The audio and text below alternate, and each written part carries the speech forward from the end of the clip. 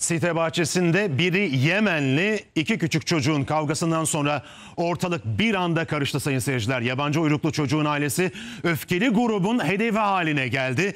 Site bahçesindeki kavga ise dakikalar boyunca sürdü. Çocuğun babası olduğu öne sürülen adamı kovalayan grup onu öldüresiye dövdü.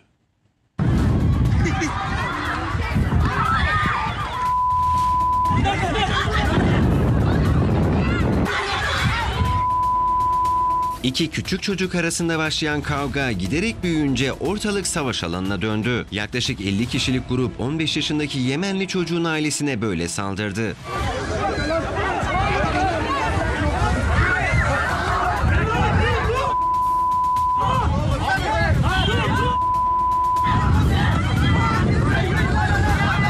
İnsanlık dışı görüntüler Esenyurt'ta kaydedildi. İddiaya göre site bahçesinde iki küçük çocuğun kavgası öfke patlamasına dönüştü. Çünkü o çocuklardan biri Yemenliydi. Dövülen çocuğun ailesi bütün siteyi ayaklandırdı.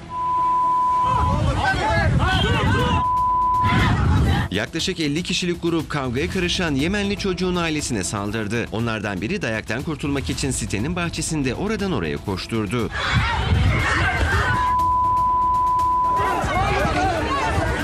Öfkeli grubu durdurmak neredeyse imkansızdı. Araya girmek isteyenler her seferinde başarısız oldu. Sopalar ve tekmelerin havada uçuştuğu o kovalamaca dakikalar boyunca devam etti. Saldırganlar arasında koltuk değneği kullananlar bile vardı.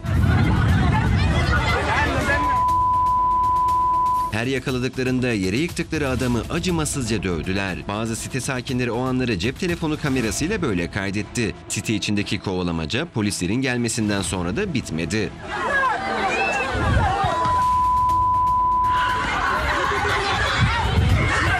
Polis yatıştırmakta zorlandığı öfkeli gruba biber gazıyla müdahale edip dağıttı.